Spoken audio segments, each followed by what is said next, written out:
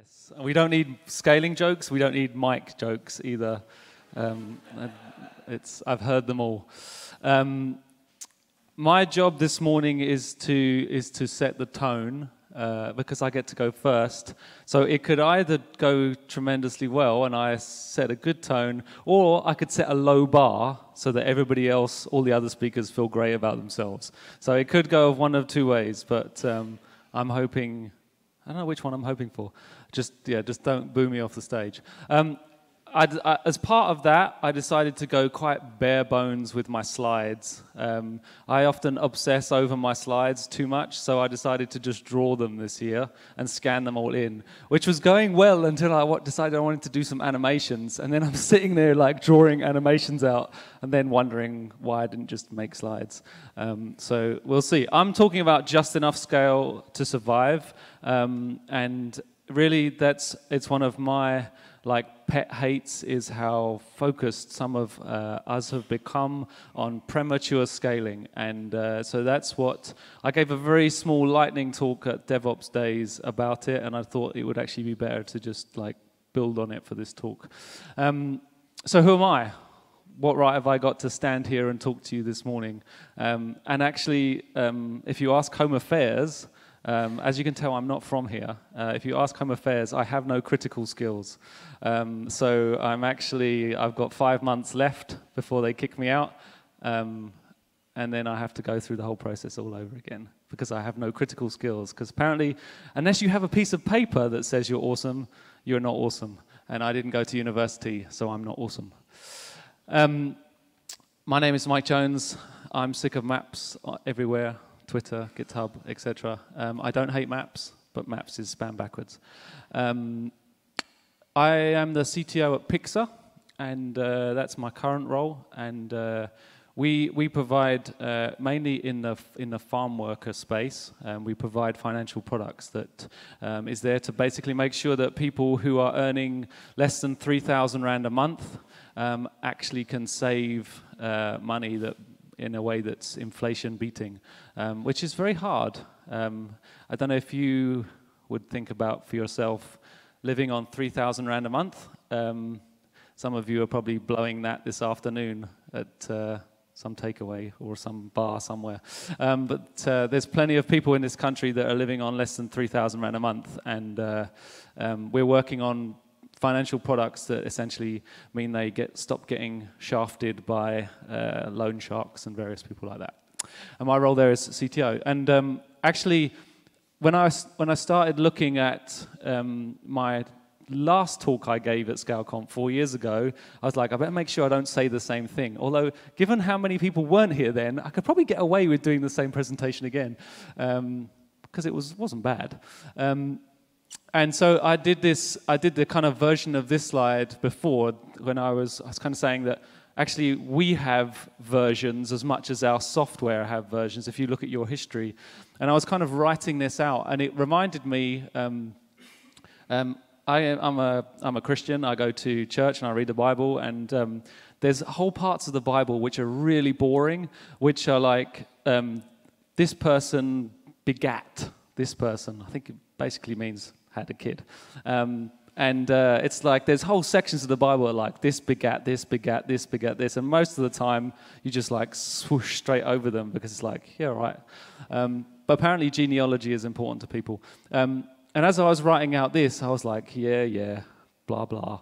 Um, and then I realized, I, rem- I was reminded of a, a, preach I heard once at church where once somebody just preached on one of those begat lists, and it was the genealogy of, of Jesus. And actually, if you look at the genealogy of Jesus, it's full of like terrible people doing terrible things. There's like, like murderers in there in the genealogy, and it's like murderers and prostitutes and, and foreigners, everyone that everyone hates. And so I was like, I was like, wow, I was actually like looking through my thing going, oh, that was a bit of a dodgy era. made loads of mistakes there. And, and actually, I'm not saying I'm like Jesus, but um,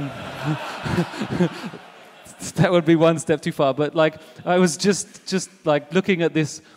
And actually, sometimes it's really good to just stop and look at where you've come from and, and look at the mistakes you've made and once again refresh and look like, where was the mistakes that I made that, that actually I can actually learn from today. So basically what I'm, I'm talking through today is the different things that have shaped um, my, my opinions, which you may not agree with, and we can, you can tell me why I'm wrong afterwards. Um, but each of these phases have, have I have I've within my career made lots of premature scaling issues. And like you'll see like one here, this is a wonderful one. Version 6, mobile app developer, 2004. Got that timing spot on. Um, that was uh, Windows Mobile version 1, which was the, uh, the device that introduced us all to the concept of rebooting your phone. Before, like, before that, phones just turned on and called people, suddenly you rebooted things. Um, and then you can see I kind of went rogue in the in eight and nine. I worked in sales for like three years, and then in marketing for two years. And uh, yeah, we won't. It, it, taught me a lot though. It's a lot of empathy. Um, so uh, it's what's funny is every time you shift between one like part of a company to another, everyone says, "Ooh, you're going to the dark side," but like everybody else thinks the other side is the dark side. It's like, no, there must be there must be a dark side, and I think it maybe it is marketing. Um, so let's talk about survival. Um, and then that was my I like put in my abstract like to the guys. I went through the same process. I filled in the form, same as you. Um, and then I was like, when I actually sat down to to write out the slides and stuff, I was like oh, that's really negative. Like, that's like saying, let's talk about tax. Um, should we talk about tax for the next 45 minutes? And so I was like, no, let's talk about thrival, because that's a good word.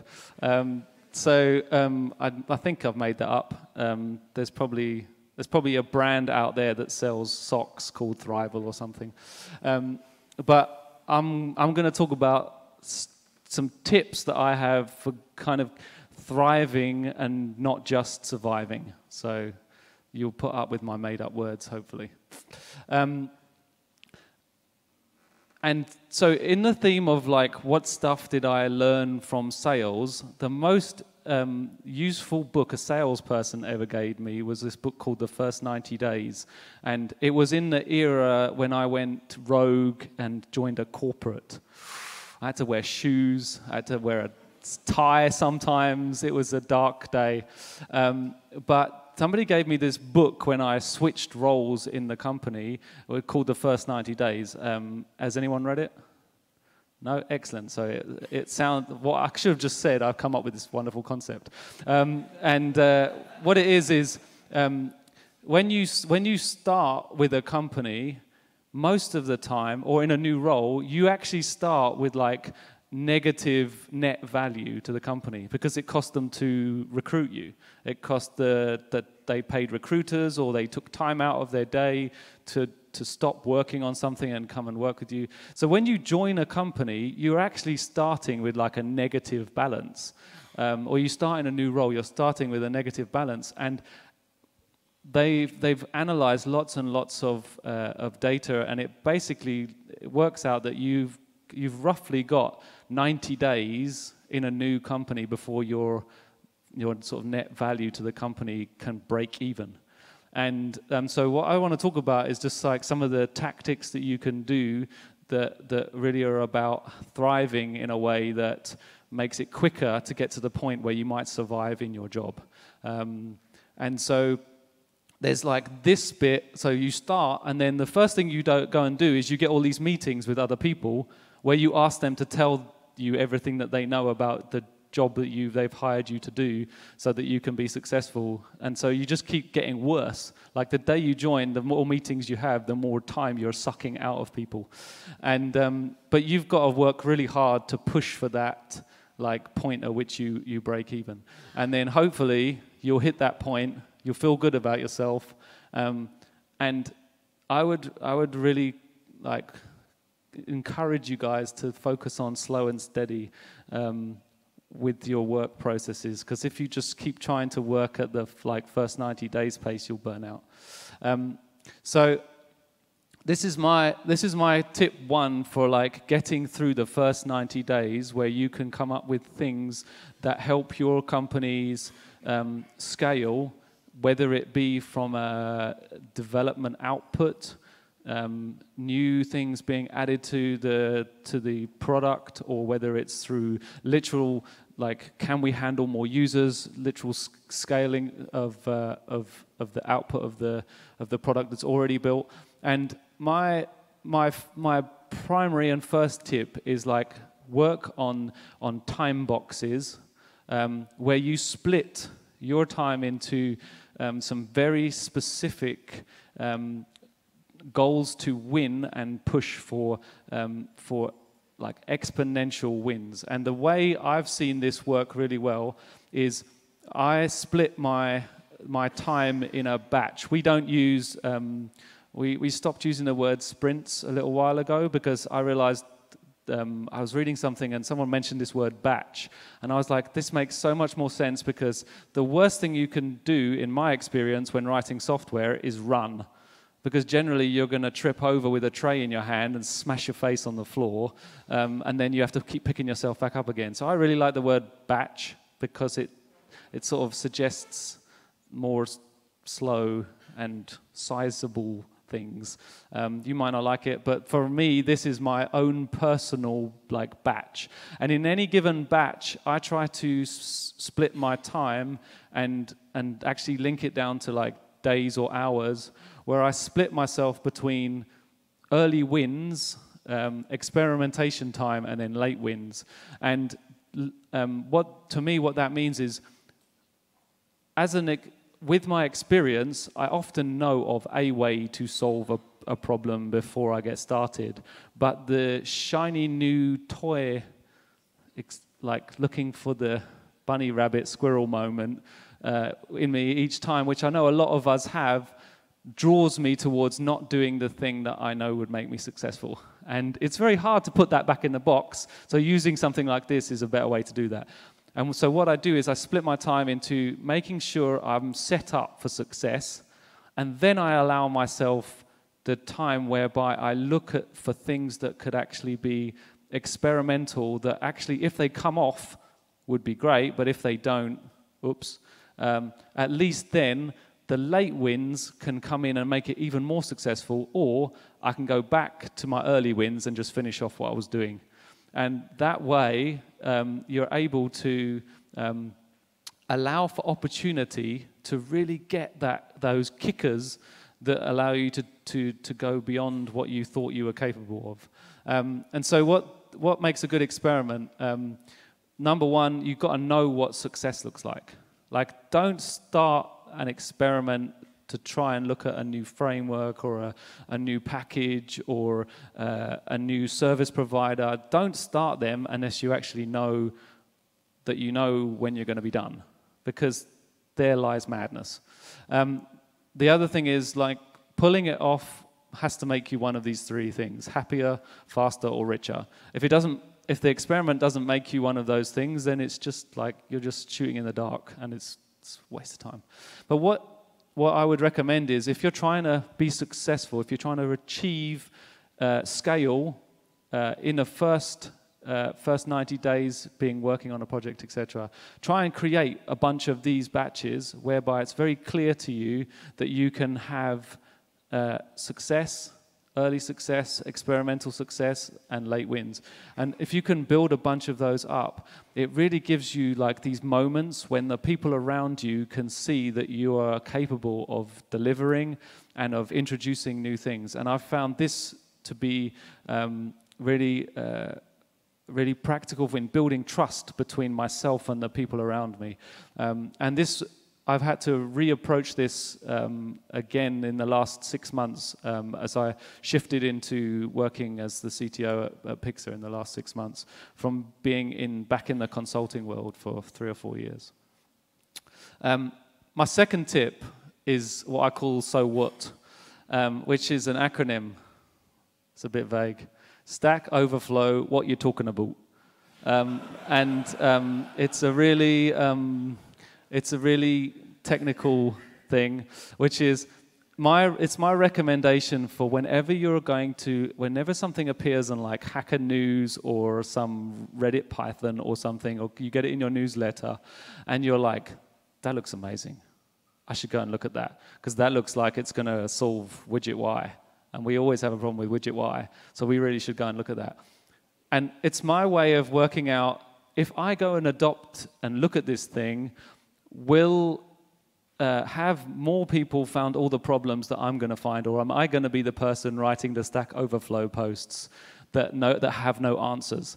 Um, and so that's why it's like if you what I do is I like go and find something that I think will probably uh, like be a problem.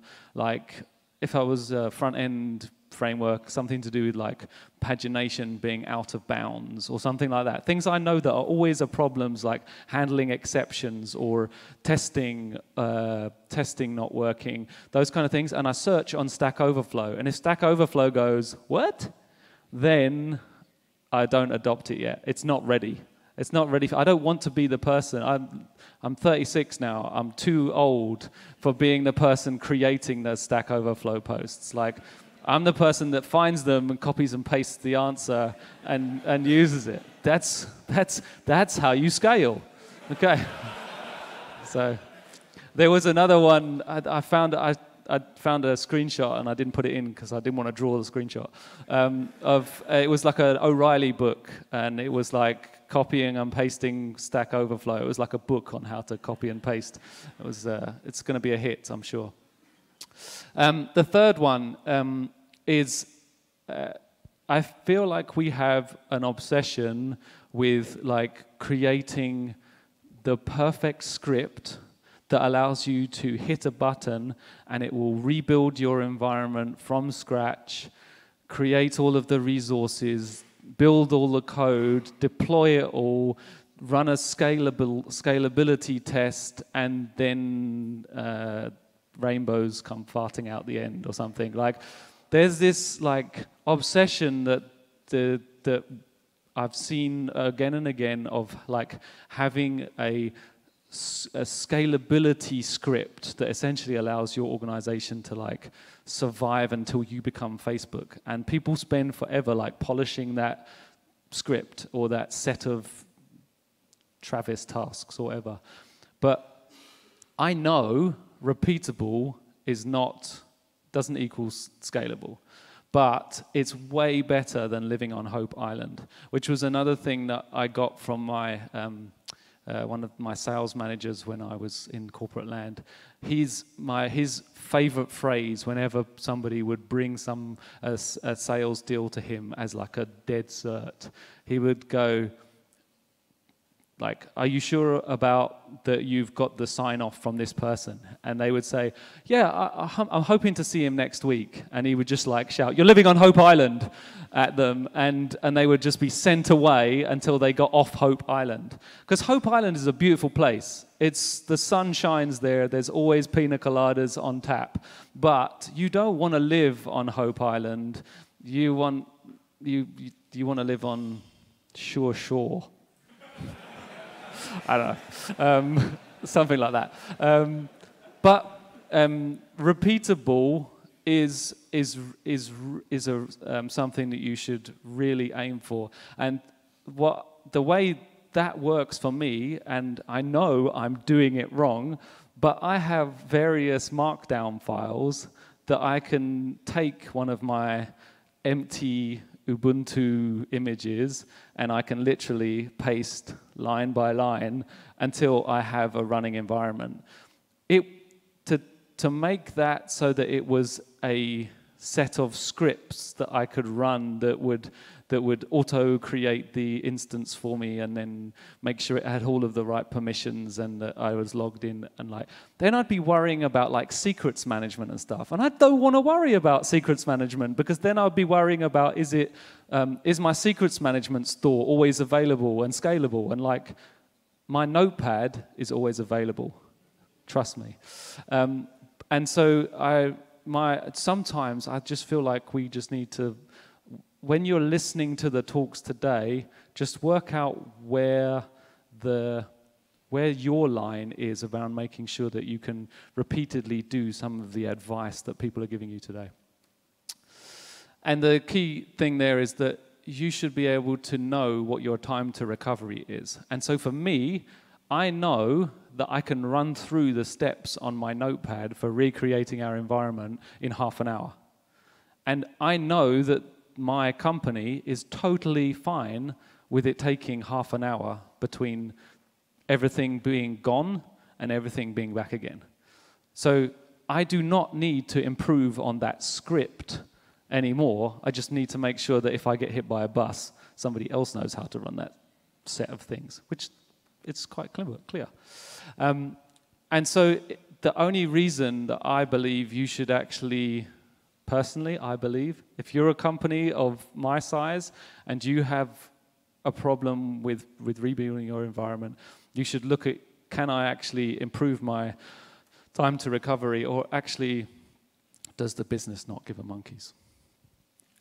And, and this is really this is really the setting us up for the rest of the day. This tip here, we are we're going to hear from some amazing people doing amazing things for the next two days.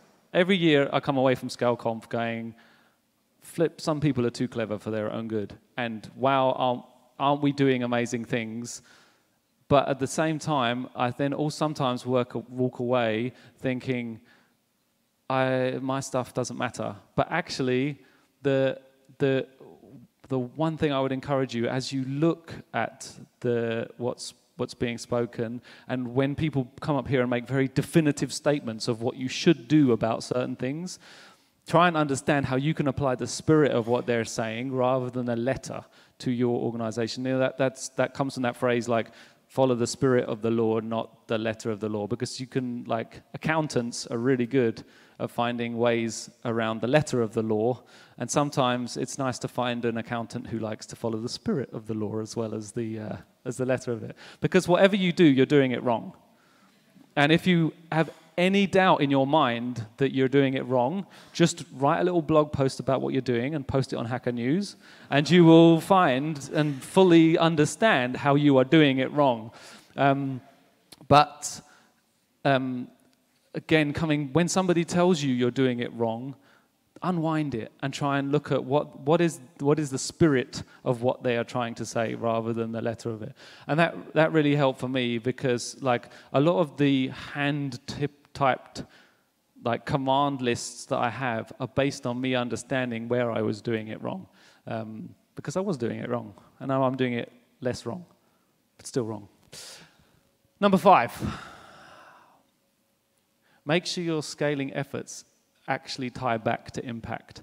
And this is one of the, um, the things that I think product management has done a very good job of, the, pro- the world of product management. And from a, I, I feel like from a DevOps perspective, um, we have often uh, kind of dismissed this and tried to focus on like the work in front of us.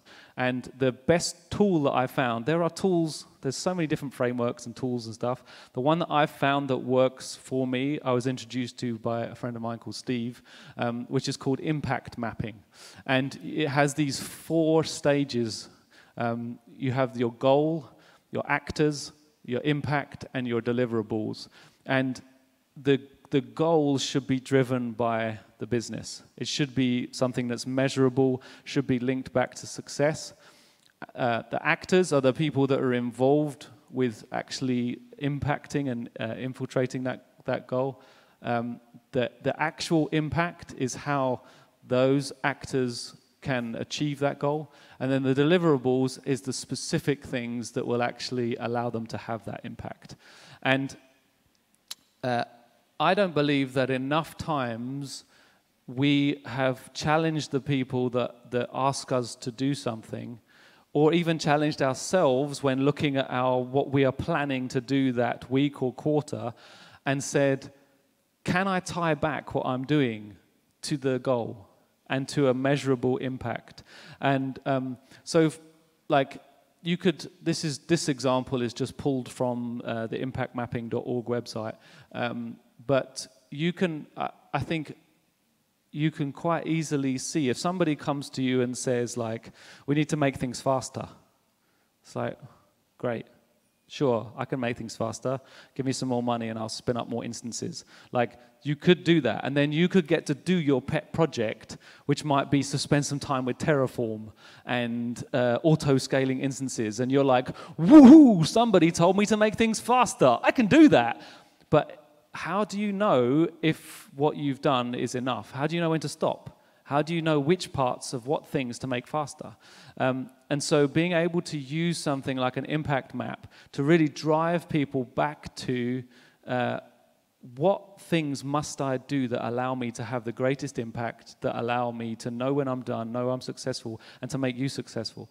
So, like, if viewing more ads is the one thing that's going to help grow the advertising revenue, and better pagination is is the way in which that then if you want to make something that caches the index for the for the for the tables for pagination so that you can jump from page 1 to page 60 with without any uh, touching the database at all that that now makes sense as a deliverable to actually help the company achieve its goals. And it's much easier as a as an operational team to be able to justify the time it takes, the people involved, all of those things if you're actually looking to map your, uh, your impact.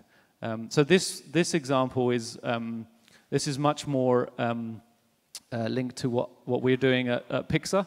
Um, so those numbers are made up because I didn't want to actually put the numbers. But you can imagine we would have numbers, um, goals such as grow to 10,000 active clients, um, with only 50 internal staff. Like that might be a goal for us to achieve. Um, the actors we have, we have our employers, we have uh, brokers, we have the actual clients who are employees of the employers, we have our internal staff. And, and once I was faced with this, uh, this picture of what the impact we want to have, I was then much easier able to return to the reality of what we, were, we, what we had at Picsa. And the reality was our customer database was a Google Sheet. Yay! Uh, our data warehouse was uh, CSVs and Excel files in Google Drive. Yay! Our business tools for like operationalizing the value we were giving to the customer are third-party SaaS tools that are all isolated from each other. Yay! Um, you can see why I was hired. Um, uh, our client self-service tools, none. Our employer self-service tools, none. Um, our comms were a bulk SMS where, interface where people paste in a message and upload a spreadsheet and press send. Um, shared Gmail accounts and uh, vo VoIP phones, because that's advanced. Um, so you can see how this reality and these goals are quite far apart um, it's quite hard to, to achieve those things when that's your reality. Um, so uh, what, we, what we had to do was in, in, in three months get ourselves off of Google Sheets. That was my first, like we just, it's like Google, especially because it's a finance company, the answer to anything is like make another Excel file um, because Excel runs the world basically. And you can do anything with Excel. It's amazing. But it's also blow your brains out as well. Um,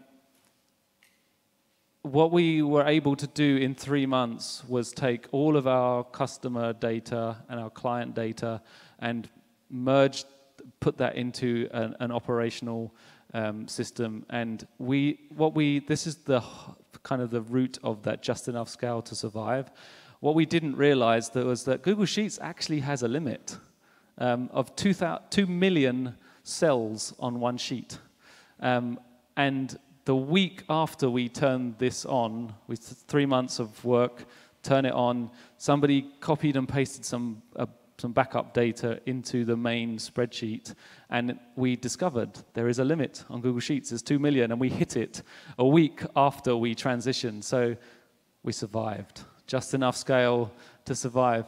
Um, so what we built was um, applying those laws of how can you have some early wins, some experimentation, and then some late wins.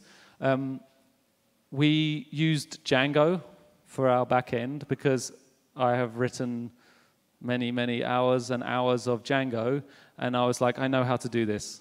I know how to build a REST API in front of that. It doesn't take long. Um, we can do that. So we started building all of our data models. Then we looked at the fact that the goal is for us to have a very few number of staff serving a very large number of customers. So each, each staff member is responsible for supporting 1,000 to 2,000 clients. So they need to be able to have a single pane of glass where they can look at the record and actually make business decisions and act like they remember the last call that that person made six months ago, rather than like when you phone Telkom and they've got amnesia and they're like, sorry, you're a customer. Um, it's what's weird about Telkom is I, I have, they provide a service to my front door, and yet they still have the address of my house three houses ago on my bill. It's like you provide a service to my front door. How can you not have the right address on my account? But anyway, legacy systems. Um, we don't have those problems, we just have Google Sheets. Um, but my experimentation came on, on what we actually used as our API layer. And that, that was where the experiment could sit because I knew how to solve the problem. The late win was if my experiment with GraphQL didn't work, my late win would have been to just use Django REST framework to build REST APIs. So I could clearly see what the experiment looked like.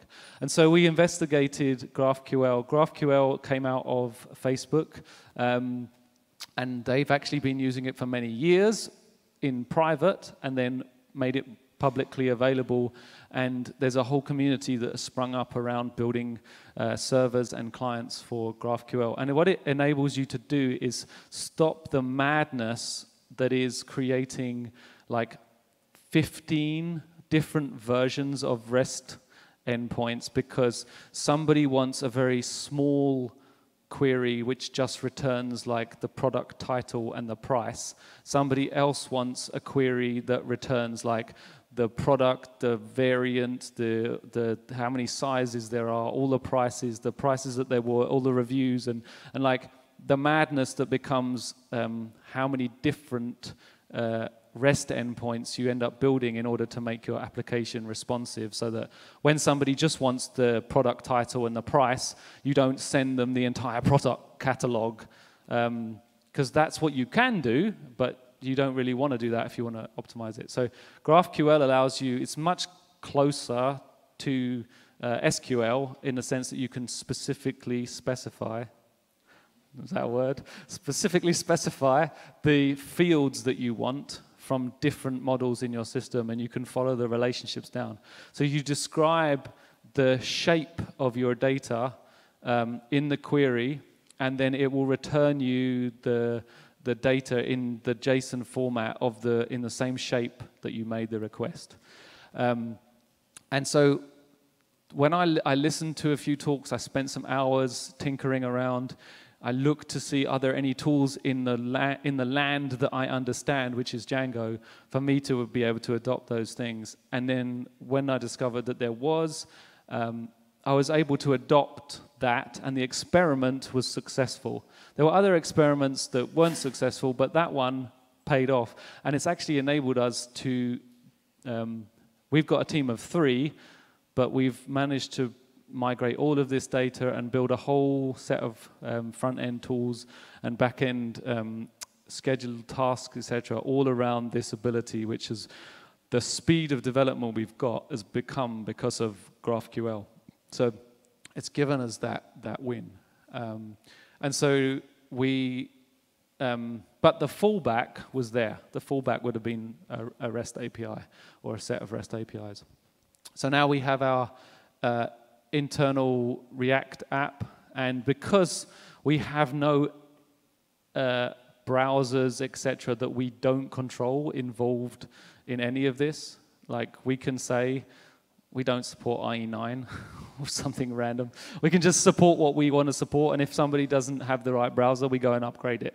Um, like that's it's a nice world to live in sometimes. Um, and then we use Django for our public website, and we use um, uh, Junebug and Vumi for our uh, public USSD application for uh, for people being able to do a little bit of self-service, find out when the office hours are, etc. And then the second experiment that we did was um, obviously working in, in Django. We are used to using Celery uh, to partner with Django to do um, background, scheduled tasks, etc. So we, we started writing batch jobs and scheduled tasks to do the kind of things that we needed to do. Um, uh, but then we stumbled across uh, a package from Airbnb called Airflow, and that enabled us to be able to see how we could run large scale task driven uh, processes that we were able to identify where batch jobs had failed, etc., rerun specific steps.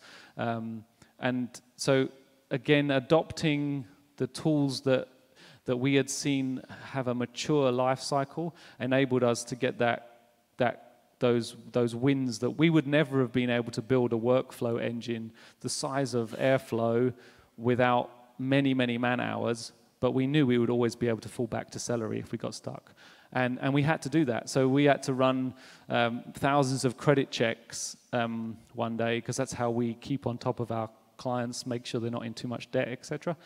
And um, Airflow did wasn't suited to be able to spawn like thousands of tasks of the same type and run them in in parallel if if those the, the size of those tasks isn't understood at the beginning it works really well if you know like we process these thousand files every Monday. It's great for that, but it's not good if it's results from a database. So we fell back to uh, to Celery, and it and that's worked fine. Um, so those two things alone have really been following that kind of model of get some early wins, experiment, and have the potential for the the exponential growth, and then have late recovery, late wins if you need to, like return to the things that you know. Um, so that's what it looks like today. And then over the next six months, um, all of the those third-party systems that I talked about will be pulled in and integrated. Um, we um, we have to deploy um, some kind of ledger, probably blockchain.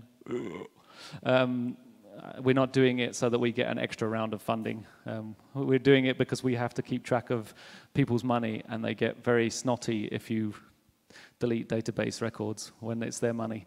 Um, and um, so all of those things will be built into this core, and the, like the voice tools will be actually be pulled in using WebRTC, so it's actually embedded in the in the client interface. So hopefully I can come back in two years' time or something and say it was successful and I've still got a job, or here's another way in which I failed. Version 13 of Mike is the one that is going to succeed, honest. Um, so, lastly, I just want to go through a quick uh, how we end go through the process um, of making the software that allows us that has allowed us to produce um, uh, an operational system that uh, in three months um, we've we've what my sort of principle and philosophy was pick things that are ready to scale but don't actually scale them.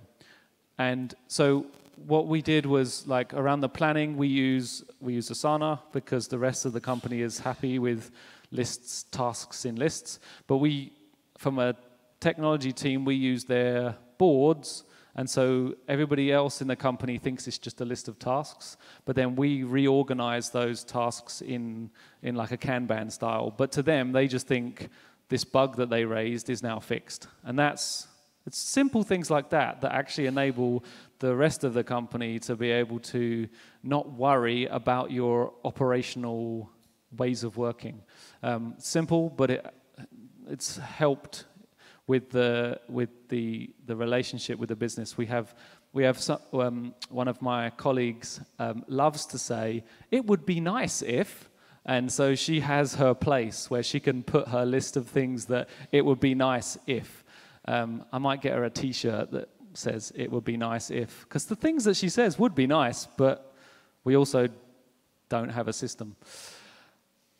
When it comes to development, um, we made the, some people think, crazy choice of having a mono repo, and it's working for us. Apparently, it won't scale. But I don't care right now because it works for now.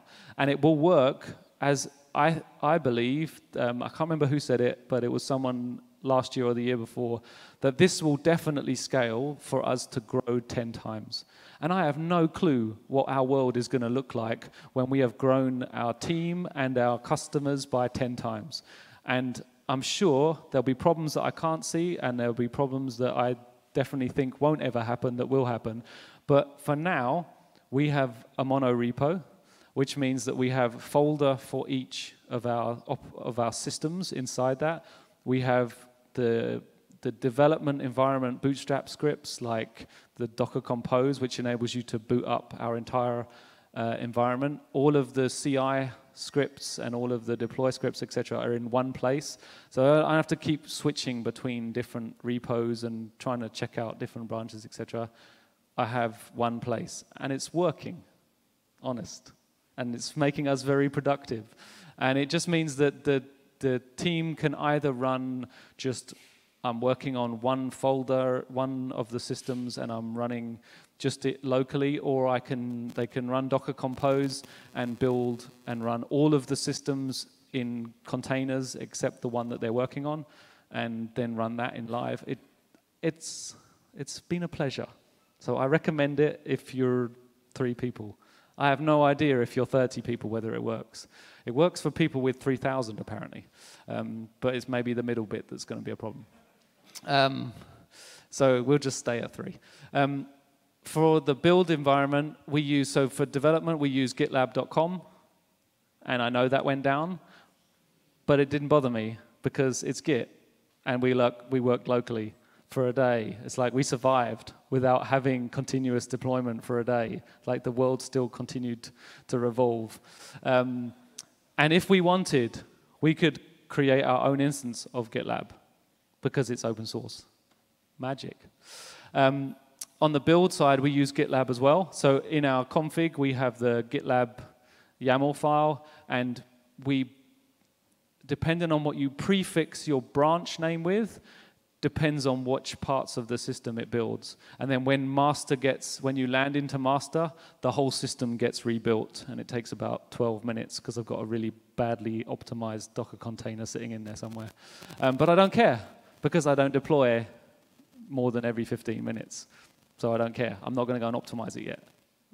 Um, and that runs through a test build. And uh, just a tip if you like GitLab, we have a mono repo, and GitLab comes with a container registry for every single um, repo.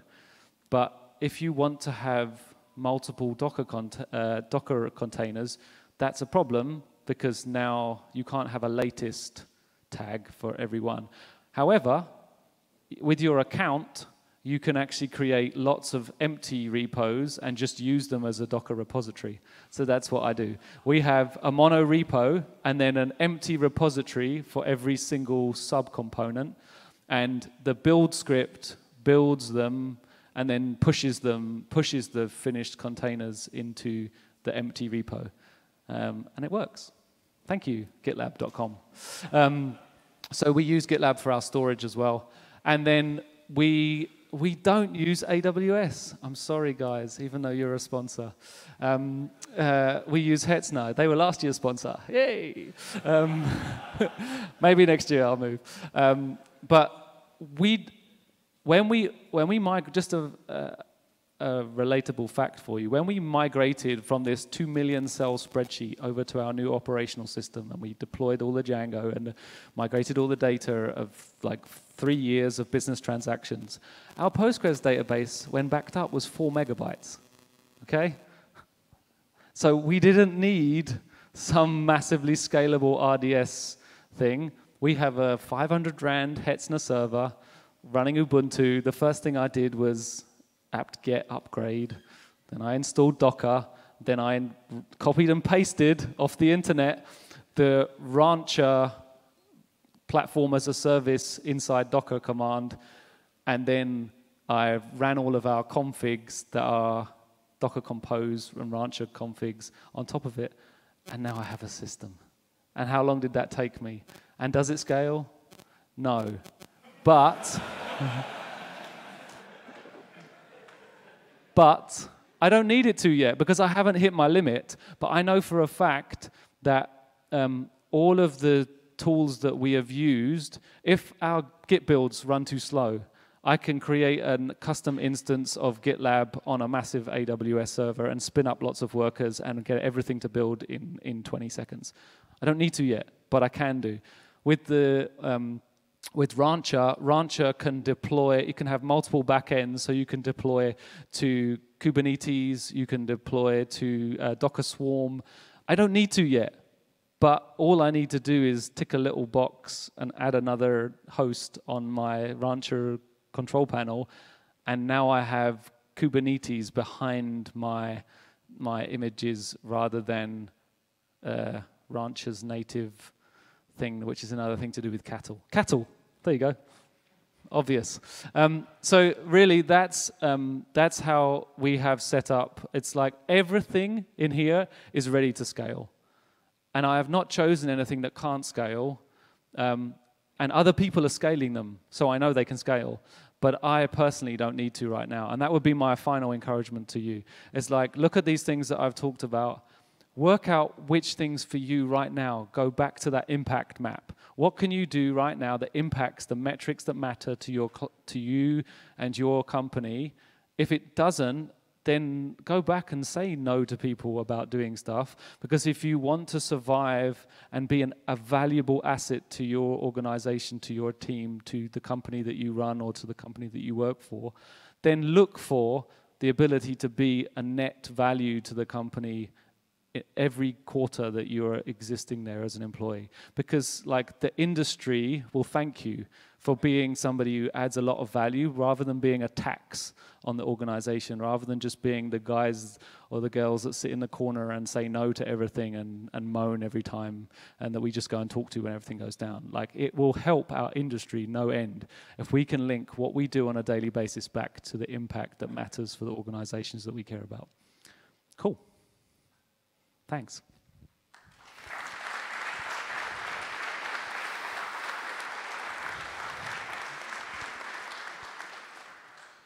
Do we have time for questions? Yeah? Okay. Any questions? There's, there's one at the back. Was there? There is no questions. Nothing to question.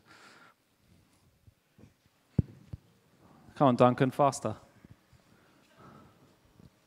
Uh, good morning. With that mono repo of yours, do you have a problem um, with embedded credentials?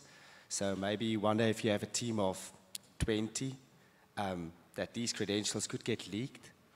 Yeah, we don't put any credentials in the repo. Uh, everything that would be a credential is an environment variable, and the Rancher is very good at letting you set environment variables at, at create time. So that's the way we've avoided it. Um, I don't fully understand secrets management and all that stuff, so I don't need to because I just use environment variables. Apparently, I'm doing it wrong, but it works for me. Um, and we haven't yet had any instance of somebody committing a credential by mistake um, because we do practice uh, uh, peer review. And even if they did commit it, I, I have done the old Git rewrite history thing. It's, there's a really long Stack Overflow, Stack Overflow, yay, post on how to like pull out an individual commit that had a credential in it. Um, anyone else? Run, Duncan. I'll give him my mic. Hang on. I really wanted to make Duncan run. Um, you mentioned uh, your Markdown file with instructions you need to do to, to bootstrap a new system. How often do you test this and how confident are you in that process?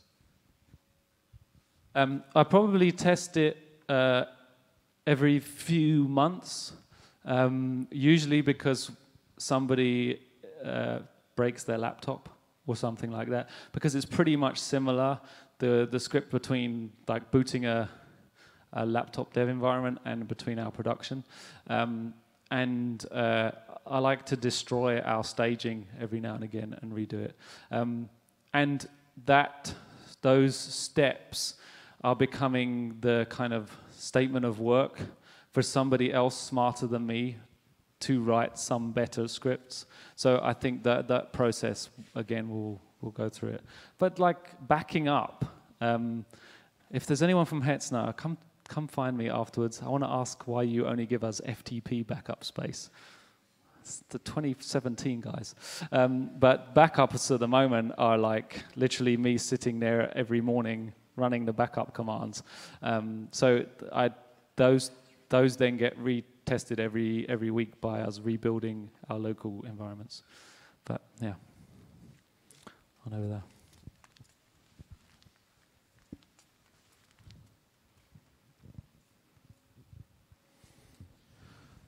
Hi, Mark. Um, just a quick question.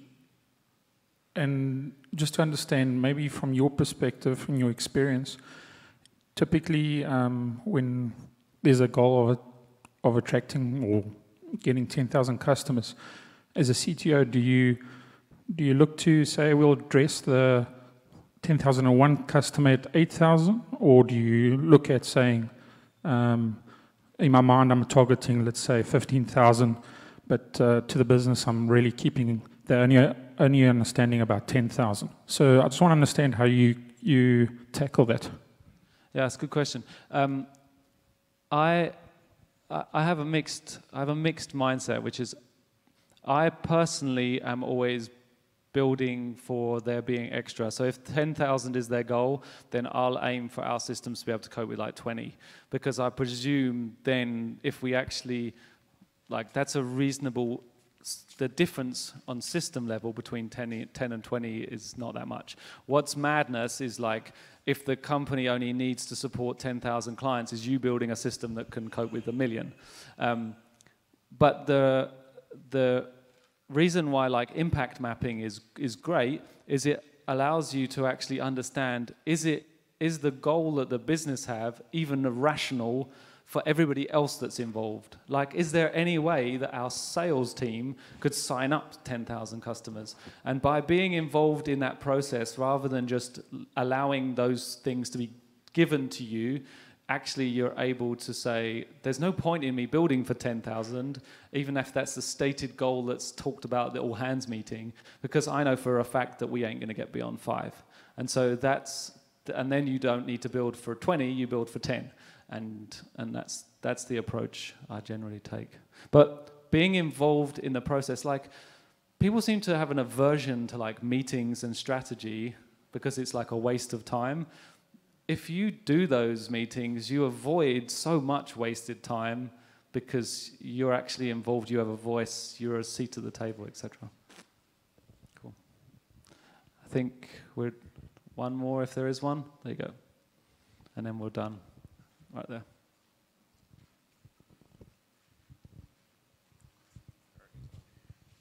Hi. Um, from your perspective, um, saying doing just enough, and, and, especially coming from a startup perspective, how much testing is just enough and test coverage? Um, testing is something that I was late to test driven development. I started coding when I was like 15, 16, and tests were madness. It was only when I returned back to coding after my stint in sales and marketing that I had a friend who told me I was doing it wrong and uh, encouraged me to look at test driven development. And since that point, I, I don't feel comfortable without there being lots of test coverage. Um, so I've just instilled that in my team nothing goes in without us having we i think generally we have like there's four or five x more lines of tests than there is of code. Um, the area where we currently have a problem is the um, uh, forget what the fancy term for it is is the the the end-to-end user experience test of like can the user log in, click on the search button, find the results, etc. That that experience that end-to-end experience. Um, that's where our biggest uh, gap at the moment. But from a from a unit test perspective, I I don't think you can. I don't think you should skimp on that personally. I don't think it's worth it because for me, it's become something that allows me to relax when coding. That I know that um, I can not be involved in the code on a for two weeks because I'm off working on some strategy. I can come back in, not know what's been changed between the team members, make a small change and know that my small change has impacted or hasn't impacted the code base because we've got good test coverage. So it enables me to dip in and dip out without screwing everything up. Cool. Thanks. Thanks, Mike. Um,